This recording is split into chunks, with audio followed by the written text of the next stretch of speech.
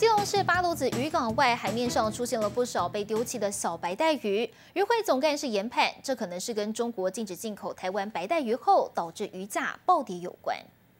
海面上只见银白色的物体随着海浪往港外飘去，仔细一看，竟是一尾尾被丢弃的小白带鱼。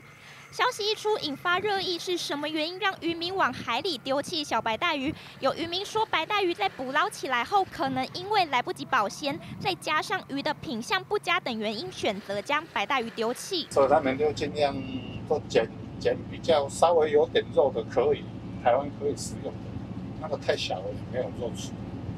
都直接放掉。对啊。去年八月，中国以食品外包装验出新冠病毒为由，暂停台湾冰鲜白带鱼输入，导致销量暴跌。直到今年三月，对岸虽然宣布解禁，但到目前为止都还没有具体行动。渔会推论，可能是因为销路受到局限，不顾成本才出此下策。只是一般偶发的事件，或是谁做的，应该对整个钓白带鱼来讲，现在这些一只钓白带鱼价格还在。七十多块以上，应该还算平稳。渔会表示，目前被丢弃的白带鱼数量不明，也无法理清丢弃的原因，会视为偶发事件。而今年白带鱼的价格还算平稳，但还是呼吁政府积极协助将渔货外销到日本、韩国，为渔民创造更多商机。记者蔡胜就报道。